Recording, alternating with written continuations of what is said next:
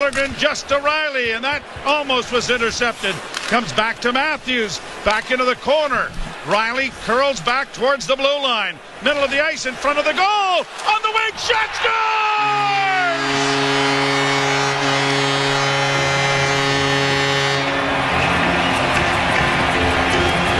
This is like the toilet seat at a stag and doe for Timothy Liljegren.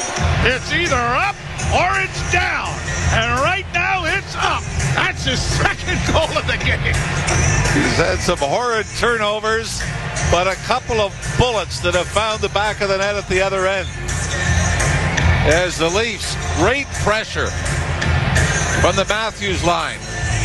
Great puck control, and it was Morgan Rielly that swung back to the middle of the ice from the right wing boards. Threw it to Mitch Marner, and Mitch Marner turns and how he sees Liljegren is beyond me. Throws a blind pass onto the tape of Liljegren.